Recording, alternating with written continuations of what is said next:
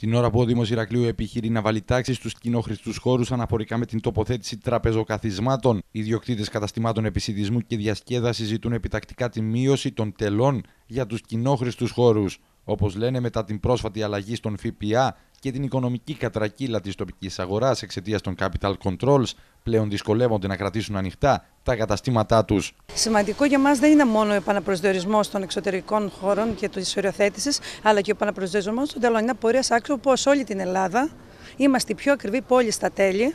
Πληρώνουμε τα περισσότερα χρήματα και το σημαντικότερο, υπάρχουν κάποιες περιοχές απόκεντρες οι οποίες πληρώνουν εξίσου το ίδιο με το κέντρο του Ηρακλείου. Θεωρούμε ότι με τους νέους κανόνες που θέτουμε, στους οποίους έχουμε σύμφωνη γνώμη σχεδόν από όλους τους φορείς που συμμετείχαν, θα μπορέσουμε να ικανοποιήσουμε τα αιτήματα και των επιχειρηματιών και των δημοτών. Χαρακτηριστικά είναι τα παραδείγματα που παρουσιάζει η πρόεδρος ιδιοκτητών καταστημάτων επισητισμού και διασκέδασης αναφορικά με τις διαφορές στις τιμές ανά τετραγωνικό μέτρο σε πόλεις της χώρας. Μετά από έρευνα που έκανε ο σύλλογός μας σε άλλες πόλεις της Ελλάδος και σε συνεργασία με, άλλους, ε, με άλλα συμβούλια τα οποία ήρθαμε σε επαφή, ε, διαπιστώσαμε ότι το Ηράκλειο είναι η ακριβότερη πόλη στα τέλη. Φανταστείτε το κολονάκι πληρώνει 90 το τετραγωνικό ευρώ, ενώ εδώ στο Ηράκλειο είμαστε στα 2,57. Στην Ερόδο 19 ευρώ, στην Κέρκυρα 20 ευρώ. Τουριστικές περιοχές με μεγάλη προσβασιμότητα και πολύ μεγάλη επισκεψιμότητα. Και άρα λοιπόν αυτό είναι κάτι το οποίο πρέπει να το λάβει σοβαρά υπόψη στο Δήμος. Μέλη του Σωματείου Ιδιοκτητών Καταστημάτων Επισητισμού και Διασκέδασης του Ηρακλείου αναμένεται να καταθέσουν έτοιμα προς τη Δημοτική Αρχή, ζητώντας τη μείωση των τελών κατά επιπλέον 10%.